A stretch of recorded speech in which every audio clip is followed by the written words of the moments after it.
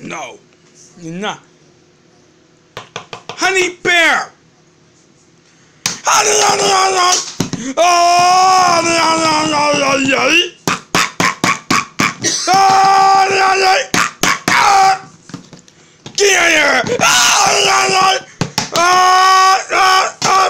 Stay up for them now!